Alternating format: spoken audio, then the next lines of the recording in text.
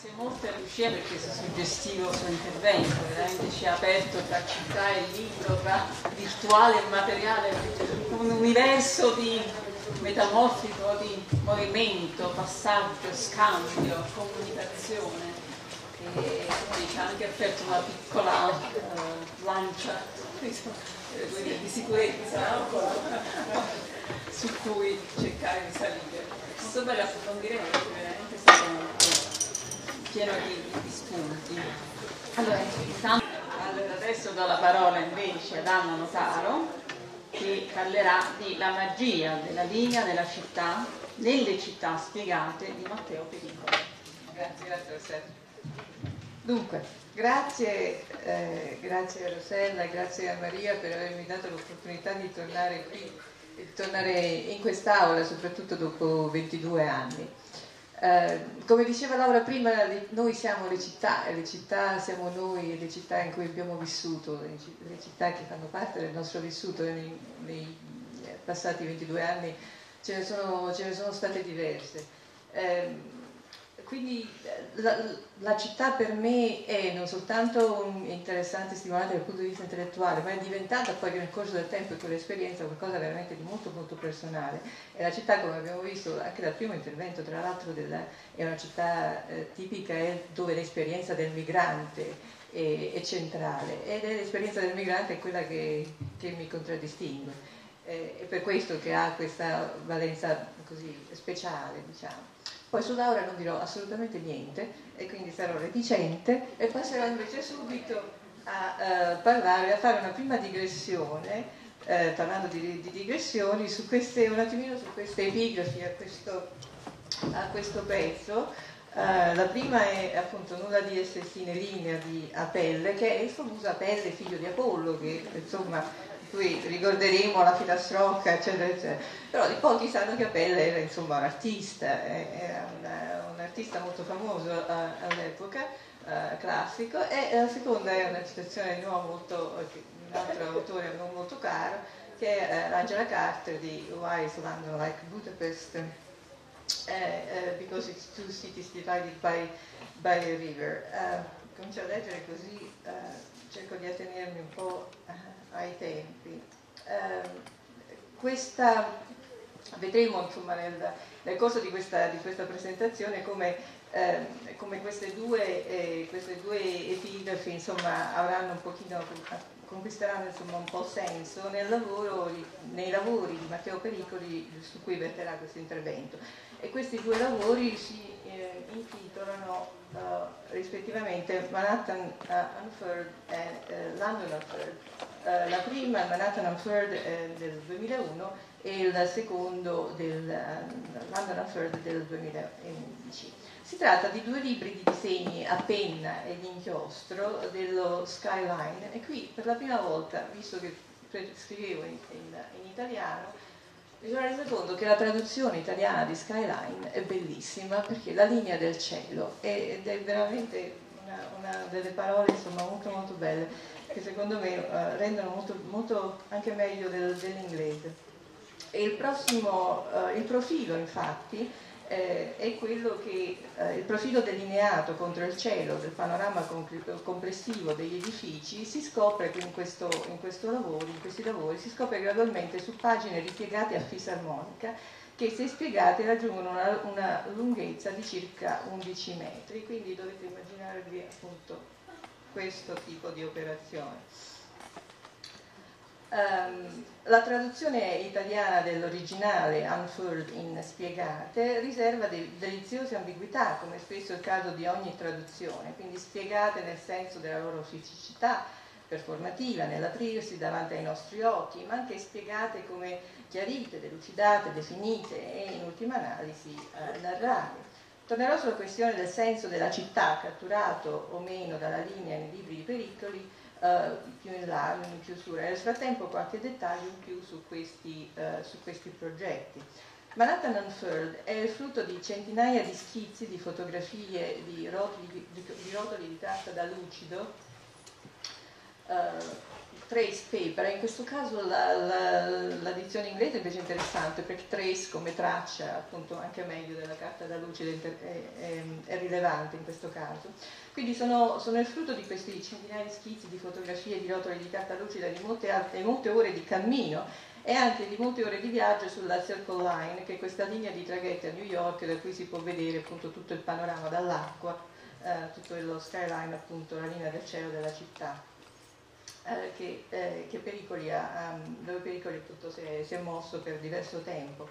Eh, Pericoli si era stabilito eh, a New York per, nel 1995, un architetto, per lavorare nel gruppo di architetti di Richard Meyer, uno degli architetti maggiori, eh, più famosi insomma in città e in varie interviste sottolinea come da europeo la sua visione di New York, eh, è stato detto anche in interventi eh, precedenti, la visione delle nostre città si forma insomma sul, sui media, costruita su una cultura visuale, eh, di film, di immagini, delle pubblicità, eccetera. Quindi la sua aspettativa era di rimanere distaccato, ma se, se non addirittura, dice lui, eh, respinto dagli enormi edifici eh, cui si, si, trovava, si, trovava, a vivere. E invece nel corso del progetto ho scoperto una New, York, diversa da quella iconografica, una New York fatta di quartieri, dice lui, appunto vivibili, a dimensione umana, e anche una città sorprendentemente antica. Uh, per esempio, uh, mi parla di quando si addentra nella metropolitana newyorkese eh, per questi vari spostamenti da un capo all'altro della città, lui paragona questa cosa a, a quasi visitare una rovina archeologica. E così è successo che progressivamente quindi autore ha continuato a disegnare quasi per rimediare a un'ingiustizia, eh, per rimandare cioè ad un'immagine della città più veritiera, una città da capire con lo sguardo, osservando per ore queste fotografie che lui prendeva proprio ossessionatamente, fino a quando ogni edificio quasi fosse un personaggio in una narrazione immaginaria, comincia a prendere, a prendere una sua fisionomia definita eh, dapprima nello schizzo a matita, questa è la sua tecnica, poi ricalcato all'inchiostro, uno stadio da cui ovviamente non si può più tornare indietro e infine si rimuove il tratto sottostante a matita, ecco che si ottiene questa sintesi eh, della molteplicità. So, mm, eh, disegnare la linea, quindi linea per linea, eh, per, per pericoli è stato un lavoro fatto inizialmente a tempo libero, eh, di notte, con lo scopo di dimostrare questa città, questa sua interezza, un'interezza democratica, dice lui, perché egalitaria, perché ogni, ogni edificio in questa visione d'insieme è tanto importante quanto quello che, eh, che lo precede e che lo segue. Un progetto quindi di una semplicità anche. Questa è anche la cosa per cui mi ha un po' sedotto, che mi ha portato a scegliere questo, questo argomento per questo pezzo. Ne sono stata veramente molto, eh, l'ho trovata molto intrigante questa semplicità, questa semplicità quasi infantile, dice, dice Pericoli, eh, e dichiara che era sua intenzione costruire qualcosa che anche un bambino eh, avrebbe potuto capire.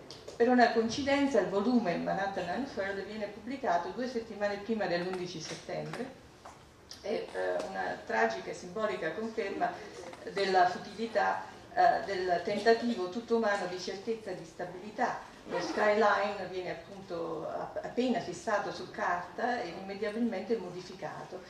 In questo video vi faccio vedere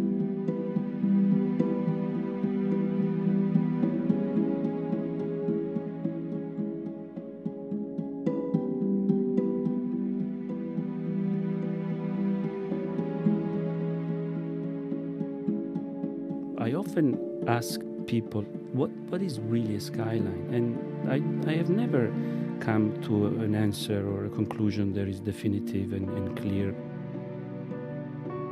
The common way of thinking is that only the area of the World Trade Center has changed, whereas so much has changed, not only throughout the city, but especially downtown. I feel an incredible connection to it because even though so much is not there anymore, I still see all of the lines that I found when I was doing that same work 12 years ago. I began to work on this in June. I wanted to be as close, uh, you know, as possible uh, to September 11, the 10-year anniversary. So I took the circle line and took as many photographs as I could. And the process is is truly banal. You aim and shoot, aim and shoot. And the the other days were spent in New Jersey to step back a little bit further and take as many photographs as well. And I found myself looking at photographs for perhaps days, by looking and looking and looking, you, you basically find all of the characters. You begin to sketch the main buildings and the, the sort of uh, milestones. Then at some point, uh, you actually put the pen, the ink onto the paper that is unerasable. So we're starting from Canal Street, and uh, all the way to the left there is a big uh, apartment building.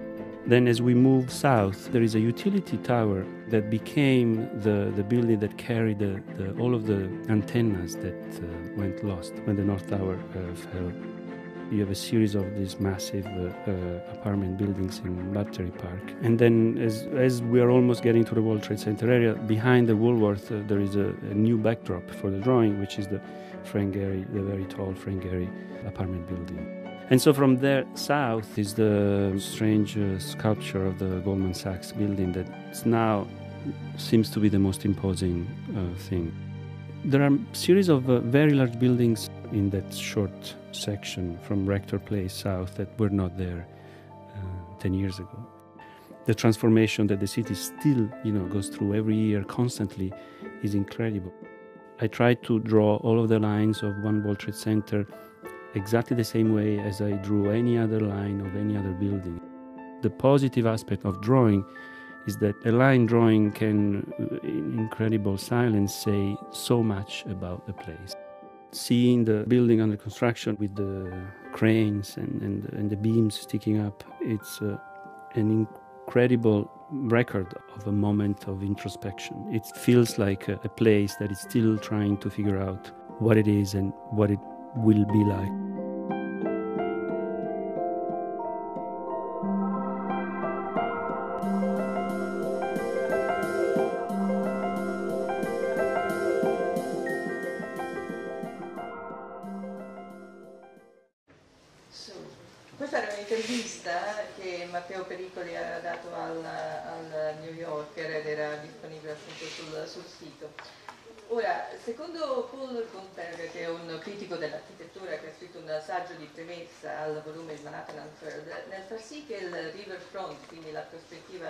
diventasse la faccia della città, Pericoli ha attuato una trasformazione non soltanto astuta ma anche proprio trasgressiva. Infatti le strade, la famosa grid di New York, è sempre stata quella l'elemento urbanistico di definizione della città. Eh, e, e, invece scompare, scompare e sono diventate, la grid scompare, le strade sono diventate quasi irrilevanti, nascoste dietro la facciata appunto, mentre i fiumi, l'East River, l'East River la Hudson che non sono molto presenti nella vita della maggior parte dei newyorkesi diventano invece proprio le strade, le arterie che contano davvero. Quindi la città, New York e Londra, eh, loro skyline, appaiono come degli organismi viventi eh, in cui l'acqua e i fiumi ricoprono funzioni importanti, ma anche funzioni diverse eh, ed è qui che c'è differen la differenza, soprattutto per quello che riguarda eh, per Riccardo Londra, per il ruolo del, del Tamigi. Infatti, a differenza della Carter, questa è la, questa famosa citazione, almeno famosa, da, da Vice Children del 91, uh, in, uh, in, cui introduce dicendo Good morning, let me introduce myself, my name is Dora Chance, welcome to the wrong side of the tracks. Put it another way, if you're from the States. Think of Manhattan. Then think of Brooklyn. See what I mean? Or for a Parisian, it might be a question of Rigauche, Broad. With London, it's the north and south divide. Me and Nora, that's my sister, always lived on the left-hand side, the side of the tourist rail seas, the bastard side of all summer times.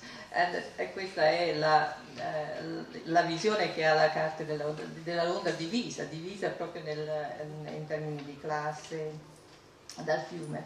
Mentre invece, eh, ecco, voglio far vedere anche un'altra, questo l'ho trovato proprio sul web, il manoscritto di, originale di West Children, ehm, eh, in cui c'è, comincia questo incipit di, che dicevo all'inizio della Why is London like Budapest because it's two cities, ma mi piaceva far vedere appunto proprio la sua eh, handwriting, del, eh, molto, molto interessante. Allora, Ah, dicevo appunto della differenza, mentre per Carter il fiume funziona, per Carter il fiume è questa, questa, linea divisoria importante, mentre invece per Pericoli è un qualche cosa che, che tira insieme, che, fa, che, che, unisce più che divide, una specie di magnete. Eh, ehm, la paragona, uh, paragona il fiume uh, Pericoli. Ora, um, del, um, si, è, si, è, detto tanto del, del, nella tradizione del disegno urbano, ovviamente è una tradizione molto, molto antica, quella dell'urban sketch, ed è consolidata. E molti sarebbero i riferimenti a, a, a, questa tradizione, in cui Pericoli si, si inserisce con il suo ultimo, con, con il, i suoi due volumi in particolare. Ora, uno dei, dei, dei riferimenti importanti forse più da fare al passato dell'urban sketch tradition è questo Edward Burkhardt, eh, New York City Panorama del, della metà degli, del, eh, del, XIX, secolo, lui però ha, a differenza di Pericoli, eh, si, si, stabilisce sulla torre di questa, di questa uh, chiesa, la North Dutch Church, ed è da lì che produce il suo sketch panoramico appunto della città, quindi una prospettiva completamente differente da quella di Pericoli. Un'altra eh, reference importante è eh, invece ehm, eh, quella del, um, scusate un attimo trovo questa, di This is New York, New York, degli anni 60, e di, di Miroslav Sasek, di nuovo un altro emigrante, però di nuovo a differenza di Pericoli, la cosa che ovviamente subito viene è il, l'uso del colore, Pericoli non usa il colore, la sua è la, una linea, della, una linea eh, inchiostro e matita.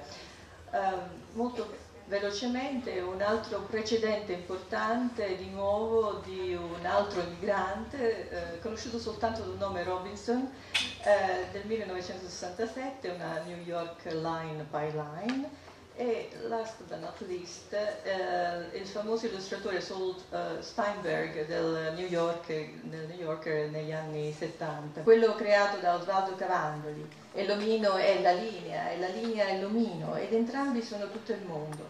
Una linea per definizione infinita che non... Grazie Anna Lugano perché fatto bellissimi interventi, veramente tutti splendidi. Eh?